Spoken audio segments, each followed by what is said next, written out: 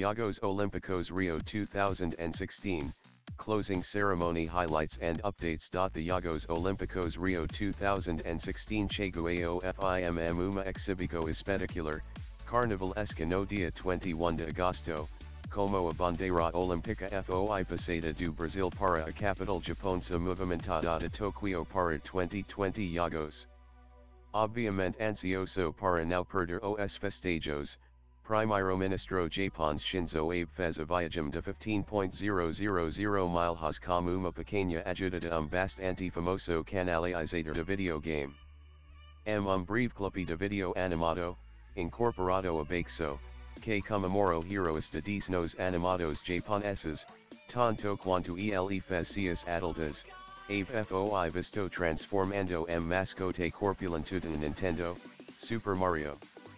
Como uma bola vermelha na mão, simbolizando a bandeira japonesa, a pelo m um tubo de erdadura verde com folga entered pelo gato robótico Doraemon, um dos mais amados manga e do anime personagens do Japão.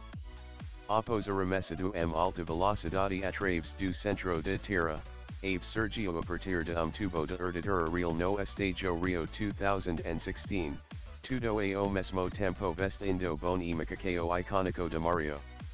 O video tumbum conto como uma breve aparico de retro robusto Yago Pac-Man e ridiculamente populares character Ola Kitty de Sanrio.